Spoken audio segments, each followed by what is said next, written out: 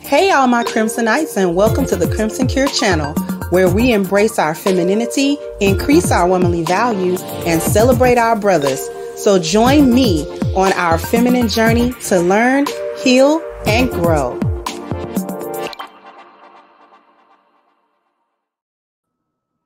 Hey there, my Crimsonites, and welcome to the Crimson Cure channel. I'm your hostess, femininity coach, and author of the Crimson Cure, and this is my perspective. So we got yet another one. Now, the heading of this says mother getting backlash for showing her eight-year-old daughter how to twerk. Now they're saying in the comments that that's not the mother of that little girl, uh, like that's her sister or somebody else. And the little girl's like not quite eight, and she's a little bit older than that. And they were saying that as if this excuses what's happening. Um, I'm going to play the video without the sound just because there's music in it. But this is what we teach. This is what's being taught to our little girls. Not teaching them how to be a wife. We're not teaching them how to be respectful. We're not teaching them how to respect themselves. We're not teaching them how to be modest. We're not teaching them about femininity. We're not teaching them about the value of their bodies and things of that nature. We're teaching them the first steps in how to hoe, how to be a hoe, how to use her sexuality that she doesn't even truly understand yet, and just how to use that. It, it for right now, it's not being necessarily utilized for getting a man or having sex. But this is the problem with single mother led households or households without a dominant male presence within them. Because see, a daddy would never allow that. A daddy, that girl's that girl, if that girl's daddy was around, if he was there and assuming that he was in control of that household, that little girl would never be doing that. Especially in front of a camera, especially to be going viral, where there are so many um, people who like children around, trolling around the internet, that's getting a nice little eye full of this little girl doing something that she ain't got no business. My grandmama used to say she she ain't got no butt, but she got a gristle. She she ain't got she ain't got nothing yet, but a little gristle. She moving around. She ain't got nothing because she a little girl. She ain't supposed to have nothing. And this is not even this is inappropriate all the way around. And then you've got people in the comment section talking about, oh, they just having fun. I'm so tired of black women making excuses for this type of tomfoolery, talking about we just having fun. When y'all gonna stop playing? When y'all gonna stop playing? Y'all play all day. Y'all play so much. Y'all play too much. Everything is a game. Everything is a joke. Everything is, oh, it's not that serious. Everything is, you know, whatever. Everything is, oh, you know, it's not that bad. You know, we did worse and, and there's there's always a million excuses for everything. No accountability. Only a few people was in the comment section like okay this is ridiculous right? Like let's take a look at some of these comments because a lot of times it's the comments for me right Somebody says she need to be learning about multiplications. Right. Do she know her timetables? Because I swear to God. Right. This this comment was interesting. So I mean, yeah, that's definitely outrageous and ridiculous. Shame on the mom. But that doesn't mean her daughter can't grow up to be a doctor or lawyer or something.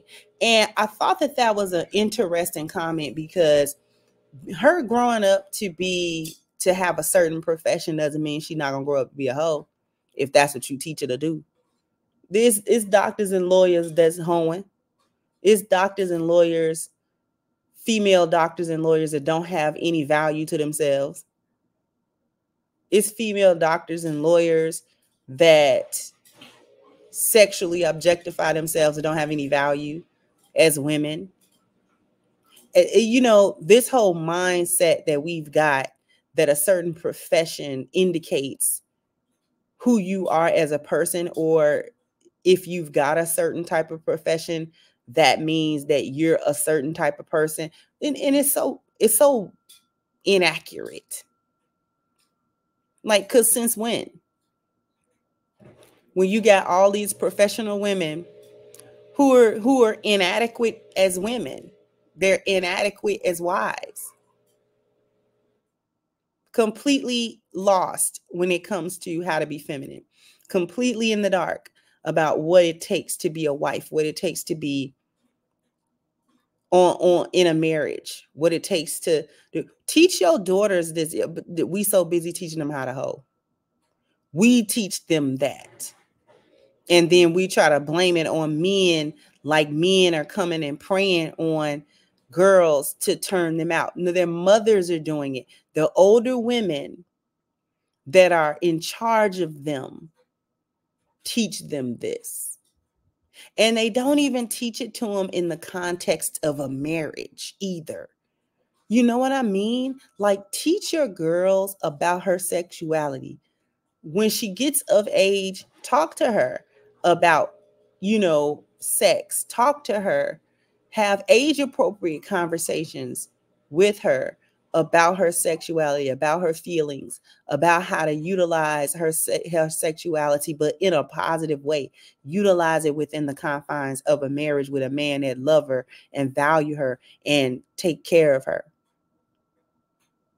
And not this is this is teaching her she should put this on the internet for likes and views and clicks and that it's not a big deal she's being taught this isn't a big deal this is what this is this is why so many of our young girls can claim that they've had some type of SA uh, incidents before they turn 18 because the women in charge of them teach them this. There aren't any men around their fathers specifically or strong men that bring order to these households. And so these mothers bring these other men into the homes and around these children, and they're not watching them. There's no structure. And the men that they invite into their homes, whether it be temporary or not, will become inappropriate with these girls. Not all the time, but a lot of times. Inappropriate with these girls.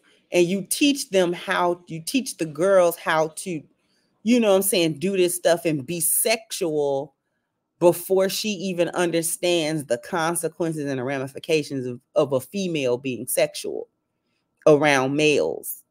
You can't do it. You really can't do it. You can't be sexual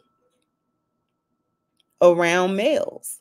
You can't do it around your fathers and brothers because it's just inappropriate on every level, right? You can't do it around your male cousins and this and that because your cousin's gonna touch you. Your cousins, your cousin's gonna touch you. They don't feel your male cousins don't feel the level of disgust at the thought of you being a sexual being like your brother and your father do. Your brother and your father have a natural disgust for that because it's not a relationship that would ever be acceptable. Your cousin, not so much. And we know that in the black community, we kissing cousins has always been a thing. Okay, cousins be attracted to each other. All right.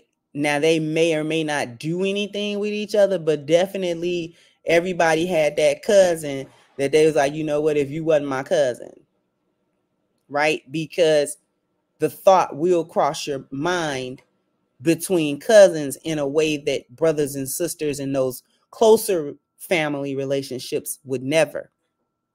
The reason I'm talking about the cousins in it is because usually when a girl experiences SA, she's doing it at the hands of a person that's familiar to her, not a stranger.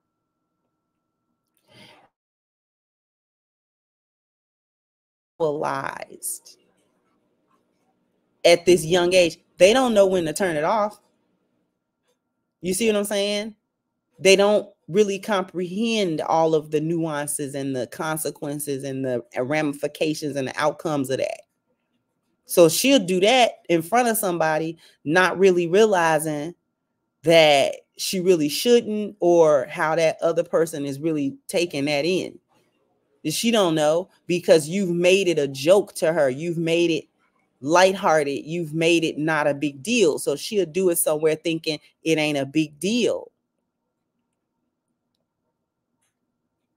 and you've set her up for some unscrupulous individual to take advantage, to take it to a place where it's uh, criminal, a place where it may traumatize her, a place where, you know what I mean? Touch her inappropriately or say something highly inappropriate that makes her afraid or makes her scared or confuses her.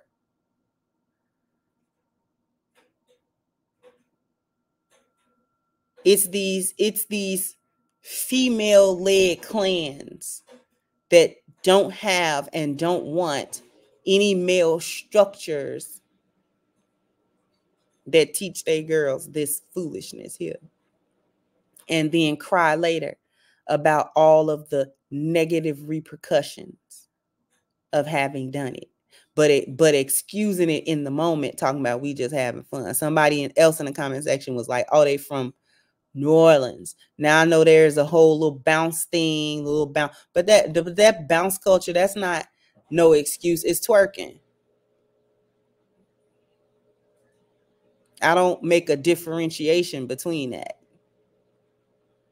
I just needed to say that because all of that was important in the context of this, we don't take none of this stuff seriously. And this is why we have all of these negative repercussions and outcomes and traumas in our community. Our girls grow up with a trauma because you taught them that doing this was no big deal. It wasn't a big deal.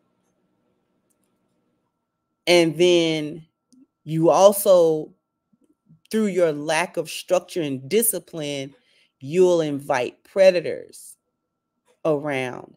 You yourself so blind that you can't detect when a, a person is gonna be a predator.